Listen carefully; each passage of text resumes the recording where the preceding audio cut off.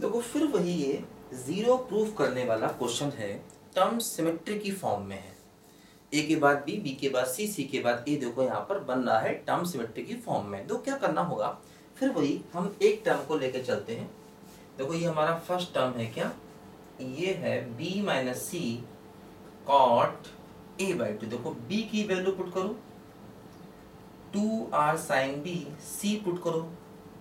To R sine C और देखो ये हो गया कॉट ए बाई टू देखो टू आर बाहर कॉमन लिया तो बना sine B minus sine C cot A by two हो गया cos A by two upon sine A by two ठीक है, देखो ध्यान दो। ये हो गया two R sine C minus sine D लगाओ two cos C plus D by two sine C minus D by two और देखो ये हो गया cos A by two upon sine A by two देखो, अभी हम लोगों ने देखा था कि भाई cos B plus C by two को फिर वही बना टी माइनस ए लिख देंगे तो हमेशा ये साइन ए बाई टू हो जाएगा। अभी देखा था हम लोगों ने, और इस प्रकार के टर्म यहाँ बार बार आएँगे, जैसे बी प्लस सी है ना तो उससे बना टी माइनस ए लिख देंगे। तो यहाँ पे वो ninety minus A by two sine A by two बन जाएगा, और ये साइन ए बाई टू इससे हो जाएगा कैंसिल देखो, अब क्या बचा? अब बचा यहाँ पर फोर आर, है ना? देखो, ये बच गया sine B minus C by two और देखो बच गया कॉस ए बाई टू। देखो, फिर वही हमें करना है वापस क्या? कि जैसे कॉस ए बाई टू आया ना, है ना? देखो, फिर हमें वही करना है। तो ए को लिख दो 180 eighty minus B plus C by two.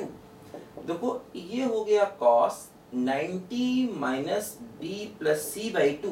तो देखो, हो जाएगा sine B plus C by two.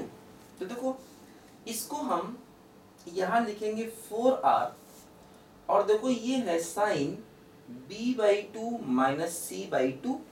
और देखो, दूसरा टर्म, ये बचेगा sine B by two plus C by two. है ना देखो कॉस ए बाई टू ना, इसको ये लिखा। अब देखो, ये हो गया फोर आर देखो फिर वही formula sine A minus B sine A plus B है ना? ये फार्मूला होता है कि sine A plus B into sine A minus B इसे लिख सकते हैं क्या? Sine square A minus sine square B देखो ये वही लिखेंगे क्या? Sine square B by two minus sine square C by two देखो ये फ़र्स्ट टर्म आया। ठीक?